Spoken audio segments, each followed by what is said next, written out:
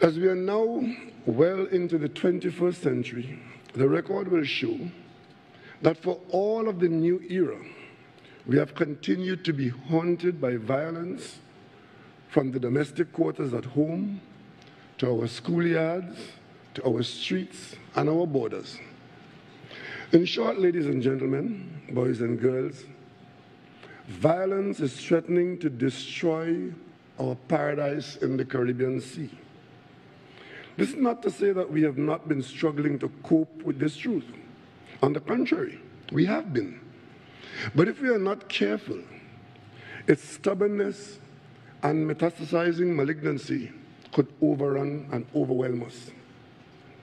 Violence in the Caribbean is a public health emergency which threatens our lives, our economies, our national security, and by extension, every aspect of our well-being.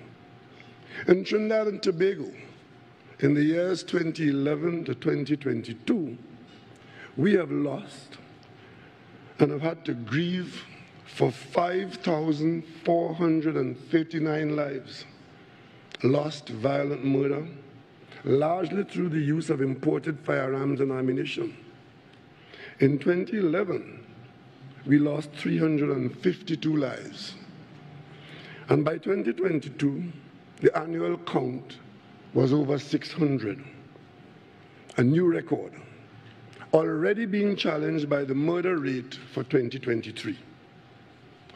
Except for COVID in a pandemic, none of the listed dangerous diseases have taken lives like this in our populations.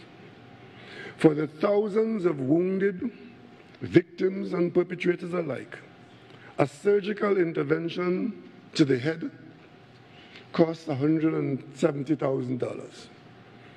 A surgical intervention for a chest wound would cost about $135,000.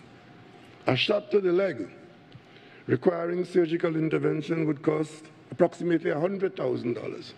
And a leg shot without surgical intervention could easily cost $40,000.